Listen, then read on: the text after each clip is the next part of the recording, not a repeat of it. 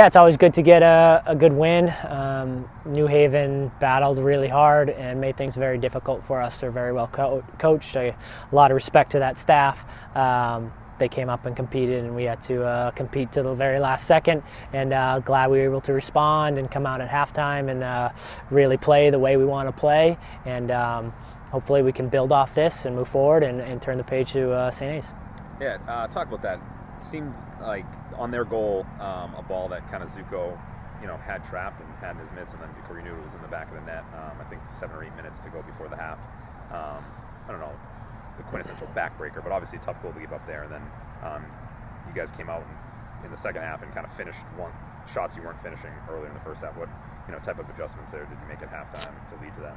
Uh, exactly. I mean, we had uh, we played some really good stuff, especially in that, that, first 20 minutes, and we were knocking on the door. And again, we just couldn't couldn't finish, like you said. And um, uh, they scored late in the half, and that, that can be a backbreaker. But uh, the guys showed some mental mental toughness, and we went in at halftime. And it wasn't uh, a tactical thing; it was just a co competition thing. And just they need to go out and compete and really take take control of the game. And um, you know, they, they played exactly how we want to play, and uh, especially for those 20 minutes, 30 minutes into the to the second half. Now we just got to put it all together and put a 90 minutes per 90 minute performance together.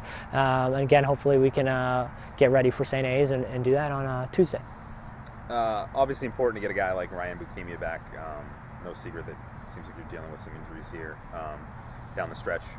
Two goals for him tonight. Kind of how important is he for your offense? And, you know putting up putting up goals to, to get you guys into good positions. Yeah, I mean, I think it was more a, a team thing.